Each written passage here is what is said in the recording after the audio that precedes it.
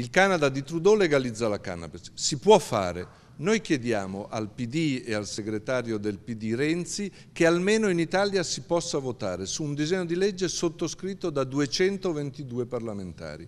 Abbiamo dalla nostra parte ormai i magistrati, sappiamo che è un modo per togliere denaro alle mafie, controllare la sostanza e combattere il consumo dei minori.